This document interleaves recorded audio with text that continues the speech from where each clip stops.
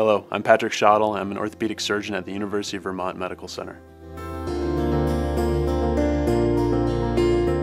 A lot of the times as a uh, trauma surgeon, we're meeting patients kind of at their worst day. They have had an accident uh, they really, uh, you know, their whole life has kind of been been turned upside down. Where all of a sudden their normal routine has been disrupted, and looking forward into you know what they're going to be doing six weeks from now, three months from now, all the plans, all the changes, uh, can be a very difficult time.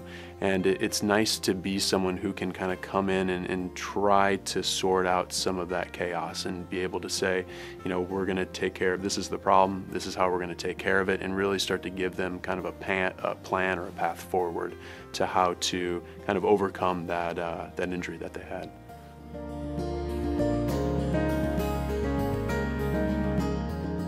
The majority of what we deal with are people coming through the emergency department um, over in the medical center, but then also, you know, maybe 10 to 15 percent of our practices, you know, bones that just aren't really healing that are coming from other parts of the state.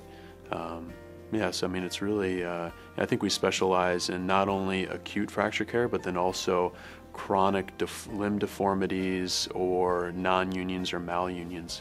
Um, so we really take care of pretty much everything that we can. Any problem that um, other providers in the state or surrounding area are uncomfortable taking care of, uh, we really think of our team as uh, here at the medical center as being one that can really handle any any fracture or any deformity um, and, and really help that bone and help that patient heal and get back on a better track.